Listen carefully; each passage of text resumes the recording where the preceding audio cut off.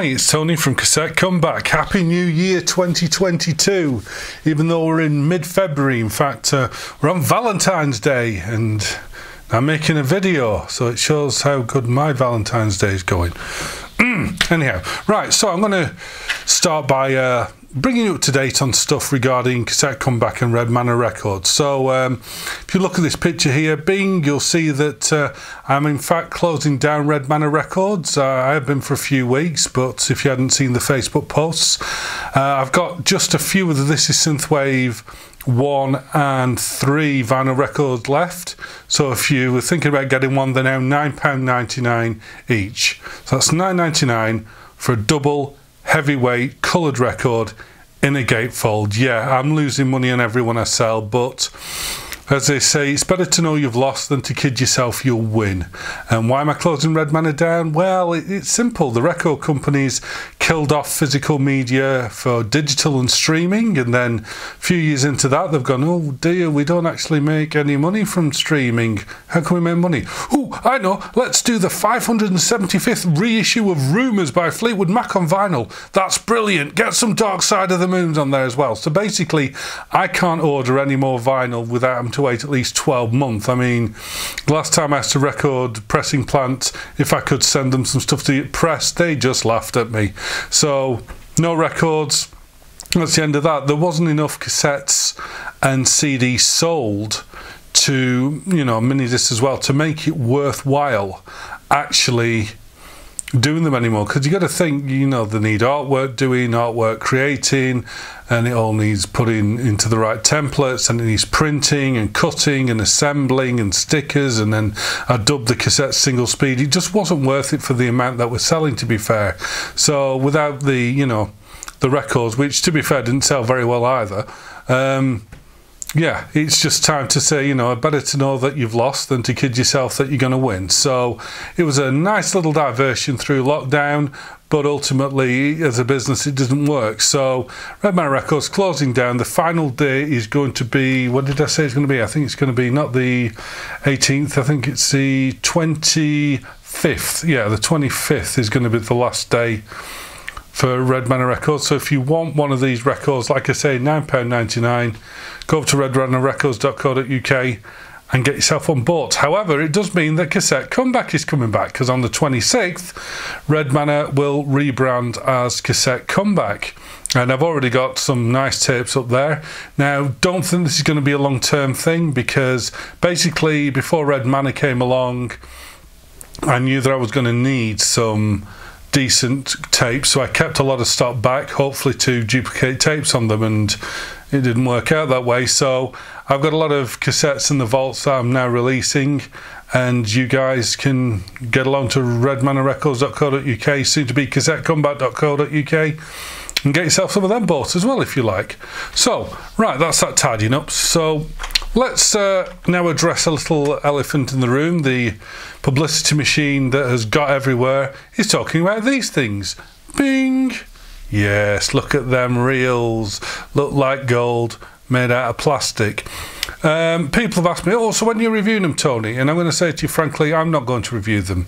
I trust the opinions of the guys on tape heads and people that have reviewed this Type 2 tape from NAC, and it is. Don't say that Tascam have suddenly got some different formula. It's not. It's NAC's Type 2 tape, which all intents and purposes is about as poor as a Type 2 tape can get, you know, apart from maybe the Acme stuff from Hong Kong.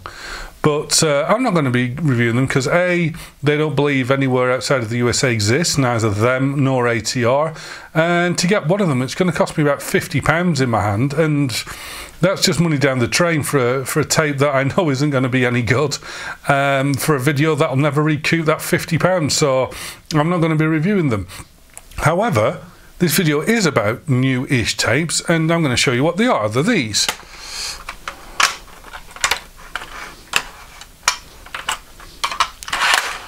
Well, there we go. So, some nicely put together and then whoosh, all gone. So, what are these? Well, as I said, I was keeping the stockpile of tapes back for duplication purposes for music uh, for Red Manor.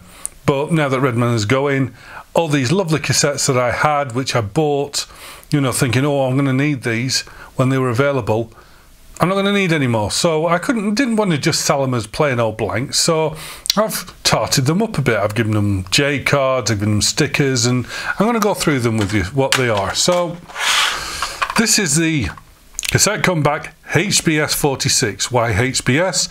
High bias SKC. Because this tape is loaded with SKC tape. Um, it's a QX version as far as I can tell because SKC did a ferrocobalt which was the QX and then it did the CD which was cobalt doped chrome. But these are not chrome these are ferrocobalt but uh, yeah so I mean basically this this is the cassette. It's uh, a duplicated cassette but um, it's a nice one. With the black black thing at the back you know the uh, slip sheet. Now the labels that come with it Oh, I've been, you know, when I've been duplicating these cassettes, I've been having labels left over and I've been putting them to one side. So these ones are actually going to come with a genuine set of Axia uh, labels to stick on there because that's that's yeah that's what I'm going to put with them. And yeah they're, they're loaded with SKC tapes and they come in this 46 minute version which uh, comes in a slim case. Because that is actually if you can see uh, I don't know if you can see is it there no, but that's actually an, an Axia slim case as it is. And it also comes in a 90 minute variant, which comes with a, uh, you know, with a genuine SKC labels for it. And a similar shell, um, the similar box, but that's a full size box. We've got 46 and 90 minute versions of the HBS. Now there is another Type 2, which is the HBB, because it's high bias, but it comes with BASF tape in it. And this is the the BASF tape Pro Chrome. So it says Pro Chrome, but it's not chrome. It's the ferrocobalt stuff that um, BASF used to sell to duplicators. And I've got this in 60 minutes, and it's proper 60 minute tape. This is not 90 minute cut down because if we sort of compare the tape pack to the 90, they're uh, oh, I need to get some something white behind it but it's in fact it even looks it looks a bit thicker than the 90 does the 60 almost. So yeah it's proper 16 micron BASF Pro Chrome in that one and that comes with genuine Excel sticker sheets with it. Yeah Get these are messy everywhere now. And now the last one in the range is this one, which is the MBM, which is Metal Bias Maxell. 62 minutes this, and as it suggests, this is loaded with Maxell tape. And it's got a really nice, if I can just get it behind it, it's got like one of them stabilizing mechanisms behind the bottom of it. So it's a really nice shell this. However, there is just one little thing to point out, even though it looks like it's a Type 4 shell, and it was designed for it, the actual Type 4 tabs are still in. So if you're thinking of getting these to record on an auto sensing deck, you're going to have to either you're going to have to drill yourself a couple of little holes in the top with your Dremel or whatever because uh, Otherwise, it'll detect it as a Type 2, which, as we all know, isn't a problem for playback because Type 2 and Type 4 play at 70 microseconds. But for recording, it will be a problem. So either record it in a deck where you can manually select this as a metal tape, or you're going to have to drill some holes in the top. But that's why these, let's just put this into perspective. 62 minutes, and this is 16 micron tape. This isn't 90 minute tape cut thin. 62 minutes in a nice shell, Maxell MX tape, available now for less than £10. In fact, £8.99 for a 62 minute tape. That's, yeah, that's that's a bargain. You can't get a, a decent metal tape cheaper, but like I say, to have to drill your own holes in there. And these come again with uh, genuine Maxell stickers. So these are the four tapes I'm going to be putting out there. I don't have masses and masses of these. I don't have thousands of them. But uh, I thought, what the heck, let's do something a bit different with all these new cassettes being launched and all the publicity. Let's just launch some new cassettes which actually don't have plastic reels in them that look like metal, but they're not. That aren't filled with new tape, which isn't very good, and they don't cost $35 a piece. They're filled with, you know, old tape from from well-known manufacturers, which is good. Heavens forbid, but. Um, let's go and have a listen to them. You don't need to take my hyperbole at how good these really are. So we're going to have a listen to the 60. Uh, we'll listen to the 46 because we've got the BASF, the SKC, and of course we'll have a listen to the metal as well. So uh, yeah, let's go fire up a deck and see how these sound.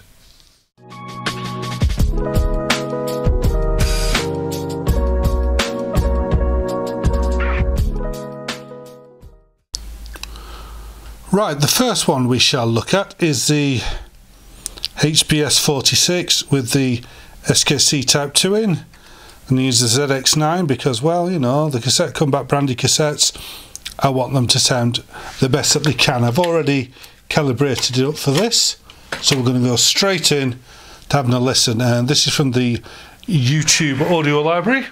This is from DivKid and it's called Rich in the 80s. And I like it because it's got a definite synthwave vibe to it.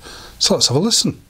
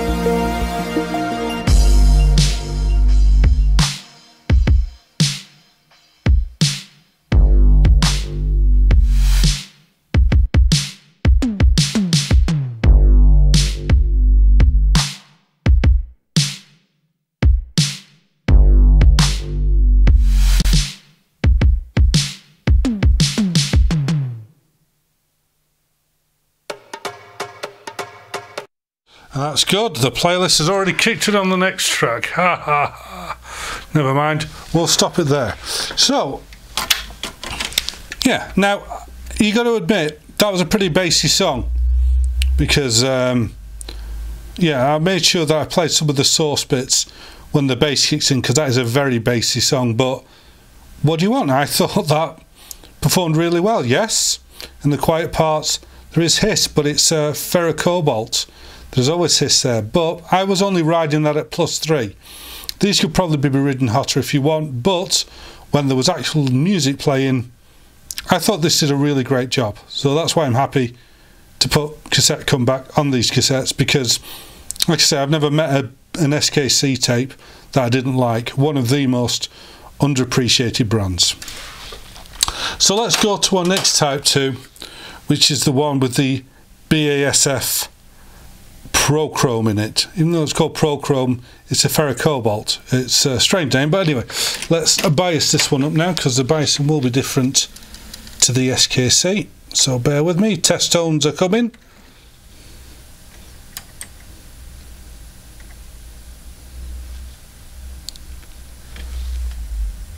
I tell you what, let's bias it up on the other bits first. Yep.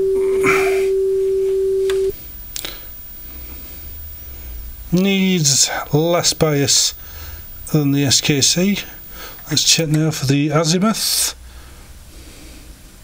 And if you've not seen the ZX9 before, sorry, azimuth, I mean record head azimuth. The playhead is fixed, record head you can alter, alright. That's in place. Yeah. Yeah, okay, that seems pretty much all done. So let's record the next track, which is called, bear with me one second. Yeah, a bit of a chilled one, this one. It's called Island Dream, and this is by a guy called Chris Haugen. So let's have a listen to Island Dream.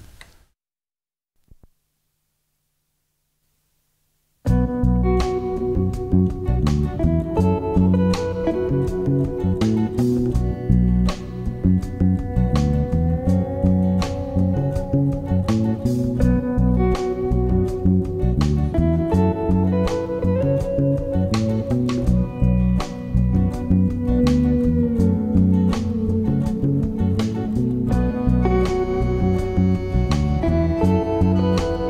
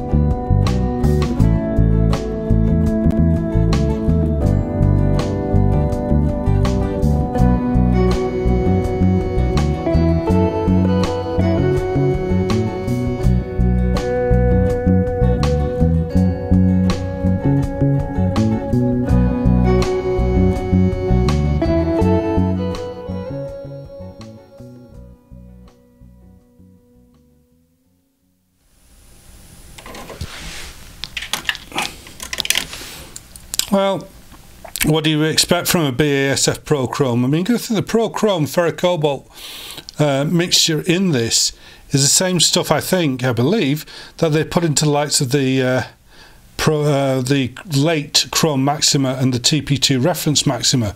It's about as good as ferrocobalt Type 2 get, based on the late Maxell XLS, XL2S formula, which was the only one I think they actually got really right. I mean, it's nice to see some really shiny jet black well calendared type 2 tape in a new type 2 tape isn't it? Not not digging at anyone at all there but yeah it's as good as you'd want. Definitely a great tape. So let's move on now to Das Metal so because of course this is a, a deck where I can select metal bias there I can easily calibrate this up and record on it but like I say if your deck's an auto sensing one, oh, you know something. ah, the benefits of using uh, VLC player in a playlist where it just doesn't stop after every tune. anyway, right, let's bias this up now. Okay, the azimuth is out, but let's get the rest done.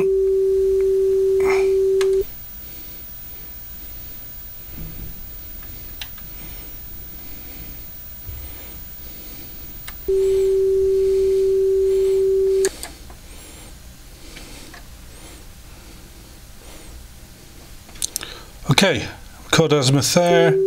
Yep. Yep. Okay, we're good to go. So what I'm going to do is, while this plays, is I'm going to crank the volume up a bit. We're going to record this a bit hot because it's a metal. We've got to record it hot, don't we? So yeah. Now this track is called Positive Fuse, and it's by someone called French Fuse, and it's really good track. This, so uh, enjoy.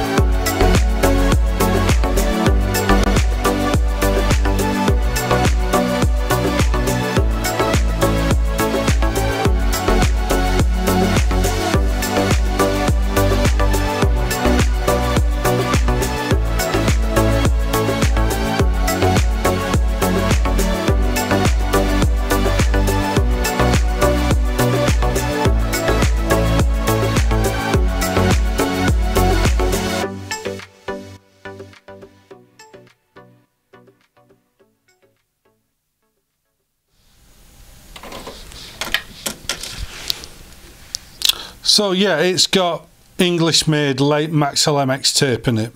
What did you expect? I mean, that's peaking at plus 10 at some points. Uh, yeah. Metal, like I say, I never met a metal cassette that disappointed me. Well, at least none that hadn't deteriorated, but yeah.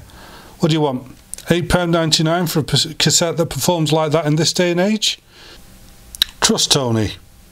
He'll sort you out. The truth.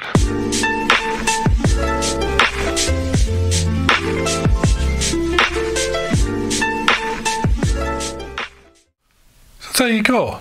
Some nice new old stock cassettes in. Yes, I know. I, I didn't point it out, but the design of the packaging, yes, has very much been lifted from Denons of the late 80s because I I really like that design. I mean, you know, these are proper J cards. You can write on the back, but uh, yeah, I, I, like that design. That's that's why I stole it from them. But um, yeah, there we go. Not a lot more else to say. The cassettes sort of spoke for themselves. So if you want any or any of the others, I've got some really nice cassettes. These ones are strange. Um, quantity, yeah, but they're in that Suono shells. Never seen them before, but anyway, uh, I digress. Go over to cassettecomeback.co.uk or redmanorrecords.co.uk and uh, get yourself these and any of the others we've got, like um, the uh, BASF ones, the C60s brilliant. I've been I can't get keep them in stock. I'm just selling and selling them nine pound ninety nine for ten. You know, you, you can't beat that anywhere in the world right now for a tape of that quality. So, um, yeah, until next time, until, you know, unless a, a little dicky bird comes and lands on my shoulder and tells me about some reclusive millionaire who's spent millions developing some top of the range cassette decks, but you know, doesn't want to say who they are or give any actual details because God forbid any of us should like know and be foaming at the mouth ready with our money to buy it. You know, we don't want publicity like that. No, we want to keep it all hush hush. But uh, unless that happens, I'll see you in the next video. Until then, happy taping. Bye bye.